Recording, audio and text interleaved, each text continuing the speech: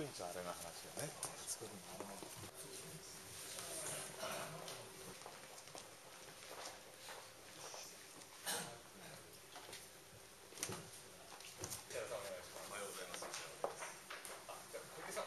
もう一度は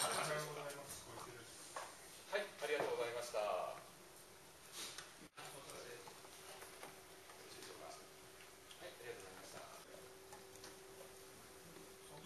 今この郵政民営化をそのまま進めていく成果も出てるわけですね。その19年度の決算で見てもその法人税あるいは法人事業税住民税また品質税これまでは払ってません消費税合わせて4600億円この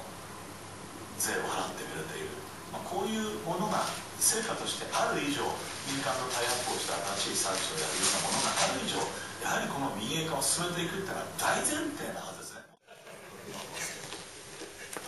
どうもお疲れ様でした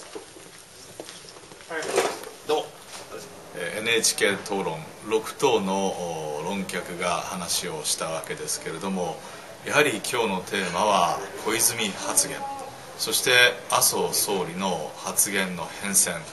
ここについての批判が出ました。私はやはり一国の総理大臣言葉は政治の命でありますので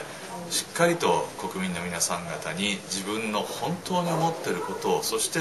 この国をどのように作り変えようとしているのか麻生総理の説明責任の重さということを強く実感いたしました。